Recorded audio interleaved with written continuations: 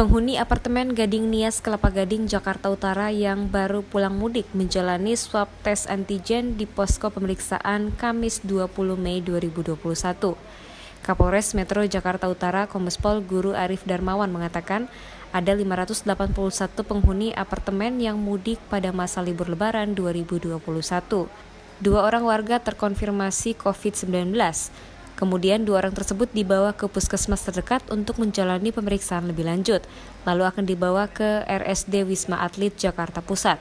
Kapolres menambahkan warga yang belum melakukan swab di posko tersebut bisa mendatangi Polsek Kelapa Gading untuk mendapatkan layanan swab gratis. Setelah itu, Kapolsek menempelkan stiker di salah satu rumah milik penghuni apartemen yang telah kembali ke rumah yang hasil swab tes antigennya non-reaktif.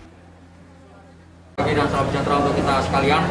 Alhamdulillah pagi ini kami di apartemen Gading Bias, ya di Polsek wilayah Polsek Kelapa Gading, pagi ini melaksanakan swab gratis kepada para penghuni apartemen.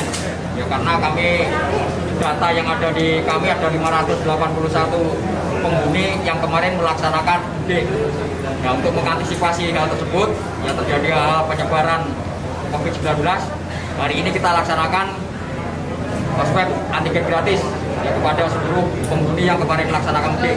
Mungkin rekan-rekan uh, tadi sudah saya ajak ke lantai 22, ya salah satu penghuni yang sebelumnya melaksanakan mudik kita tempel bahwa yang bersangkutan ini mudik kemudian setelah yang bersangkutan ini datang kemudian kita swab dan yang dan akhirnya alhamdulillah hasilnya non reaktif.